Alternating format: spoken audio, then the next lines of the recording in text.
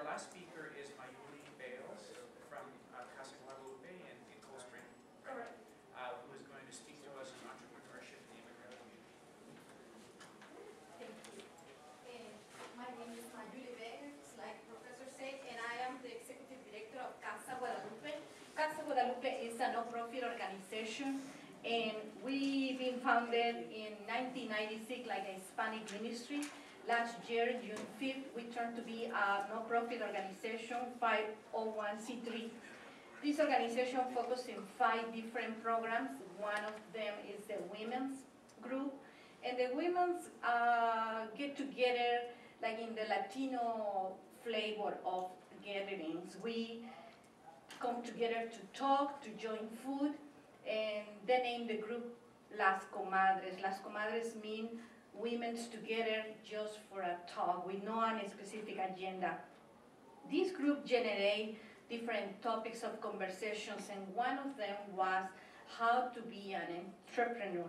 That was very a new concept. They, they have skills, like Yolanda was talking about, different kind of skills. And it was a long discussion, probably by months, to decide what kind of business the women want to do it. It was from sewing clothes to paint pottery. Finally, they came to an idea to create piñatas. They've been looking to cook food, that was one of the first things that they, they put at the table of the discussion. And they found that was a lot of regulations in selling food. And they need to take a lot of classes and get certifications and license. We are talking about a group of women that are probably the high level of education is third grade. Uh, the literacy is no, uh, in many cases, uh, more than that. But they are very creative. I was delightful to listen to Yolanda's presentation because our women are so creative, very visionary, very, very resilient community, very ongoing with the ideas and the, and the purpose that they put on the table. We're talking about 20 women talking about open a business. That was the first uh, concept to, to, to put on the table. What happened really was uh, that the group started having conversations divided into what they want to do, and finally the group come to be eight women. These eight women decide to do piñatas, and at some point the decision was based in there was a perishable product. Would be no problem to create certain number of piñatas and a storage it was not sold and ending of the problem. But well, the first question is with what money? Who knows what to do piñatas? We learned that there are more than one technique to do piñatas. What technique will we be using? Who will be providing money? What it will be the space? So all these questions that you know you start you start putting together came to the table and the conversation continued in a group. Um, it's valid to mention that these women are, many of them, from Mexico and Guatemala, south part of Mexico. They have a concept that is called el tequio, not tequila, tequio. Tequio means moving in community, creating something not just for yourself, but for the community. So with that philosophy on mind, they decide what would be a collectible product that could help them to move on. Move on meaning having skills to continue, start a business and continue the business, to learn what are, was the needs in the market, to learn how to market in the product, and to have resources for what they want, been, been thinking to do. We are in the middle of three uh, high-level education institutions, and one of them is San Ben's. We bring the idea to one of the professors uh, from the administration school, and she helped us to connect with that bank. Before we decide to go with the school, we have a very hard experience. These 20 women went one day to the bank, and we bring it in purpose to know what was going to be the process. They talked with the. It was very an um, hard situation. The bank uh, was very nervous why we are in the bank, why we don't speak the, the English language, who will be the interpreter, what kind kind of questions these women are asking.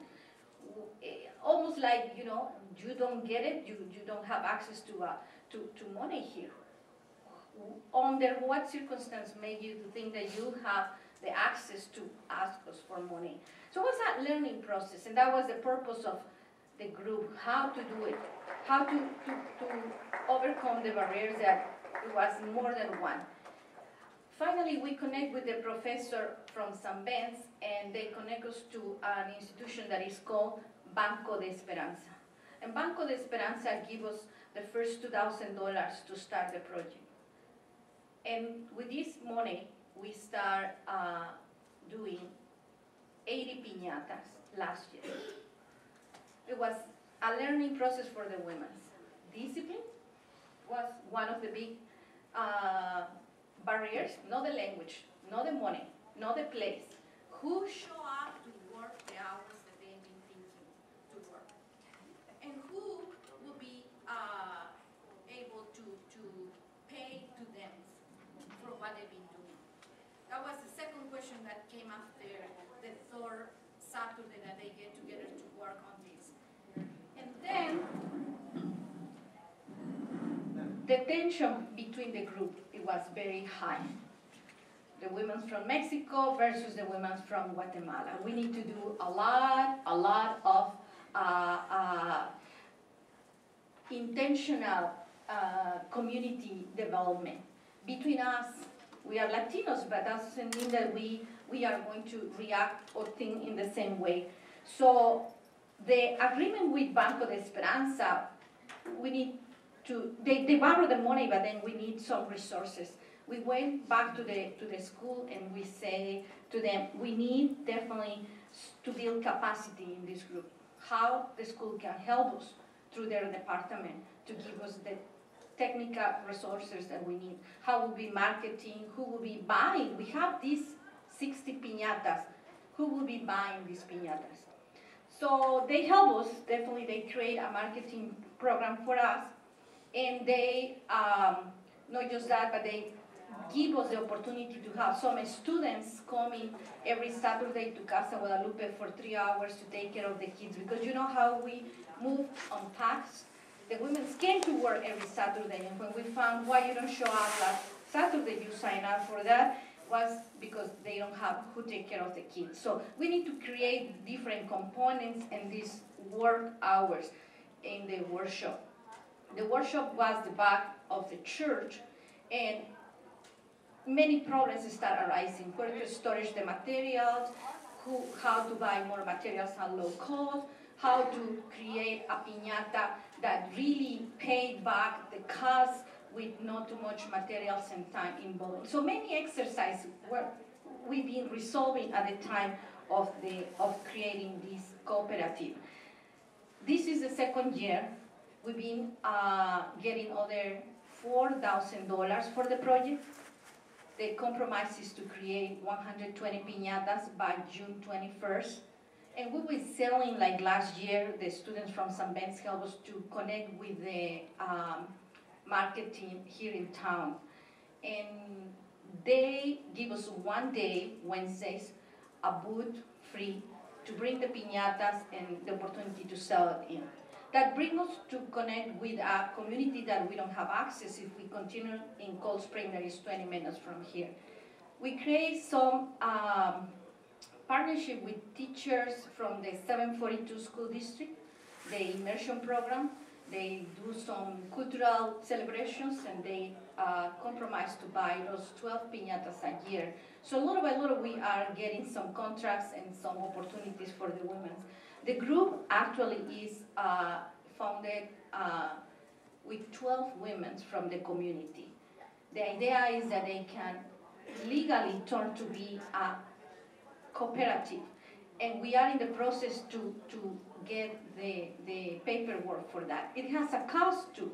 We applied for a grant with United Way and we are in waiting to know if they will be helping us to fund that. Um, the idea for them is to be able to create a job. It's a status to be, to be self-employment. And not just that in their case, but it's an opportunity to work in a flexible hours with the kids besides them and not paying daycare that is a high cost. Definitely, you can see that we move in a micro entrepreneurial work, but always with the background of our community. It's safe to move in community. It's safe to go in groups to the meetings or to talk with the schools uh, to ask for the money that we needed. Um, I don't want to, to be redundant with what uh, uh, Yolanda and Rogelio have been talking about.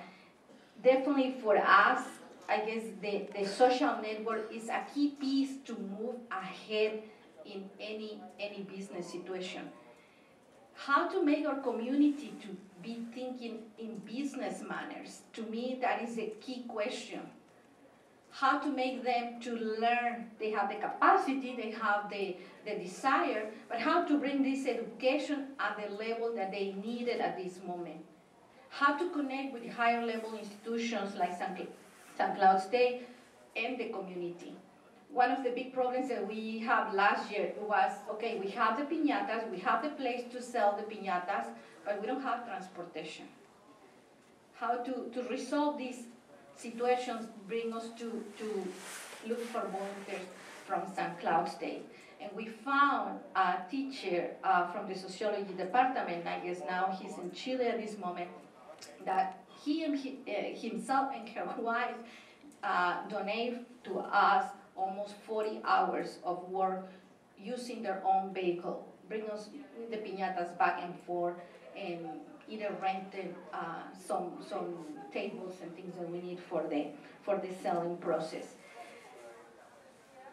Um, I want just to underline that this is very a small entrepreneur piece in a rural and isolated community with the capacity to be really a world business place in the future. This year we are waiting to rent a place to continue the work. We uh, are waiting to receive the money from United Way to buy tables, to have a little more safe space for the kids to work, to play with us. And we will be definitely asking uh, members of this table to help us in the process. You know, I guess LEDC is part of this project, and this conference, I guess, gives us the opportunity to connect.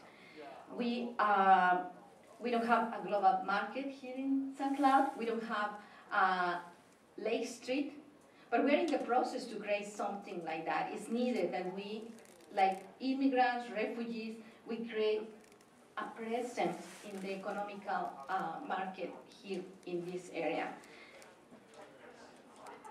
question that you have.